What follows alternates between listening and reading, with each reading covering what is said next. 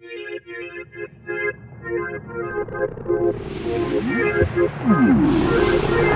you.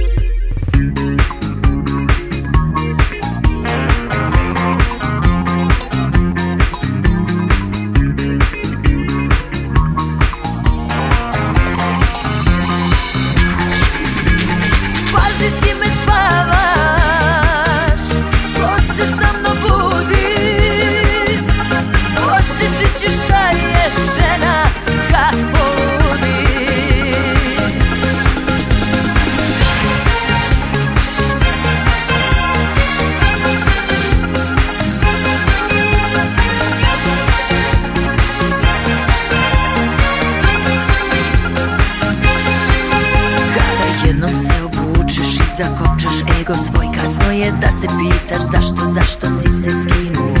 Da čutiš kada si lepo šaputao Kada jednom budeš nežan, kasno je da budeš grub. Da okrećeš mi leđa, čega bi se stideo.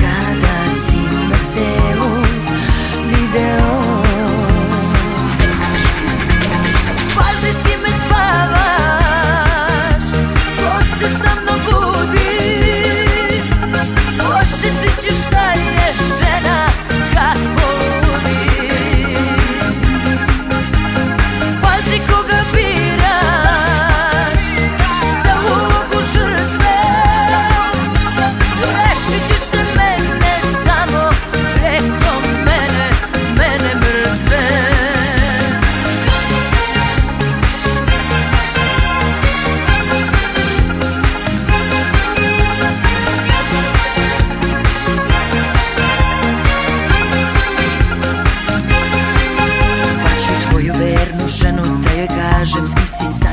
Po gradu ću da pričam da si loš u krevetu. Zato ti je bolje Lezi tu. Pod kožom ti je još miris moj.